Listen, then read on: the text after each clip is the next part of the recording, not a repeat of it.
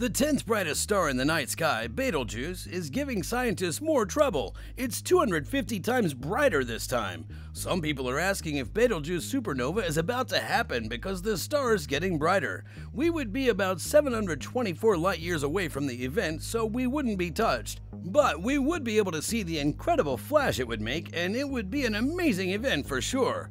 Hello everyone and welcome to our channel. In today's video we'll talk about the sudden increase in brightness of Betelgeuse as revealed by NASA and all that could result from this. Let's get started.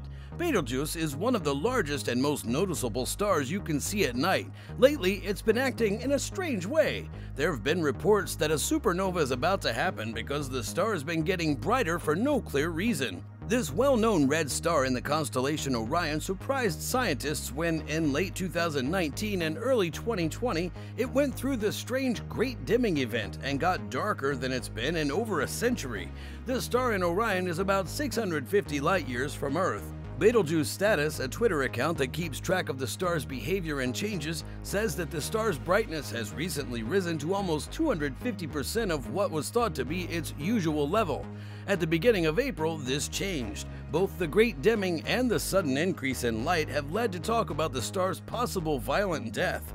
How much, though, does this idea have any hard evidence to back it up? And maybe even more important, what would happen to Earth after such an explosion? If Betelgeuse had a supernova explosion, it would be the closest one in more than 400 years according to Space.com.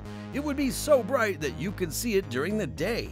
Even so, some scientists are less sure that a supernova will happen. Professor of astrophysics at University of Manchester, Albert Zijlstra, wrote in a paper that Betelgeuse is a variable star. Variable stars, like the well-known Mira, have their brightness change over time because they pulse. Most stars, on the other hand, have a constant brightness. Even though no one knows why Betelgeuse got so much brighter, Zijlstra doesn't think it was because of a supernova. He said that supernova blasts happen in the cores of stars, while changes in brightness happen on the surface. Also, Betelgeuse's previous fading could have been caused by the same dust cloud that is now making it shine brightly.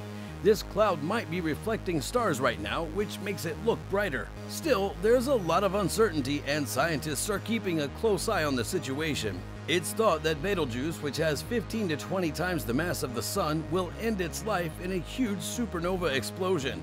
Its red color shows that it's a red supergiant that's nearing the end of its life. But no one knows what will happen in the end. At some point, the star Betelgeuse will explode as a supernova. Then it could get as bright as a full moon and be easy to see during the day. But when is Betelgeuse going to explode? The answer has been perhaps today, maybe a thousand years from now. A new study came out in June says that Betelgeuse will go supernova in tens of years instead of thousands of years. The paper is mostly about the idea of stellar nucleosynthesis, which is how stars get their light. Inside stars, simple atoms join together to make more complicated atoms, which gives off energy. When a star's nuclear fuel runs out, this is called a supernova. Experts say that Betelgeuse could be a good candidate for the next galactic supernova. The first author is Hideyuki Saio, who works at the Astronomical Institute, Graduate School of Science at Tohoku University. Let's get something straight. The past of looking for supernovas in our own Milky Way galaxy is not clear. We'd be lucky to see any supernova in our lives, let alone one as close as Betelgeuse. And Betelgeuse going to blow up tens of thousands of years from now? That's a great idea that makes everyone talk about it. When hydrogen fusion happens inside a star, it gives off light. Simply put, they mix simple elements like hydrogen to make more difficult ones like helium and get energy out of the process. As big stars, eight or more solar masses, get older, the simplest fuels run out, but they slowly use up more complicated fuels until their cores are made of iron. Then the nuclear bomb stops going off. When fusion stops, the high temperatures in the center of a star drop.